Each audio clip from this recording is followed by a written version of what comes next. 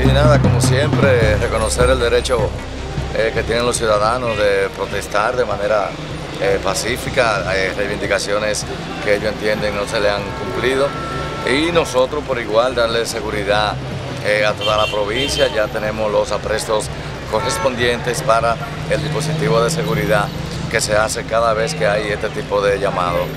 ¿Qué, qué, decirle justamente, general, a aquellos que quieran eh, alterar el orden público? Exhortarles a aquellos, ellos saben eh, a quienes nos queremos referir, que no vamos a permitir alteración del orden público, no vamos a permitir que se alteren los niveles de seguridad que tanto nos ha costado eh, conseguir aquí en esta provincia.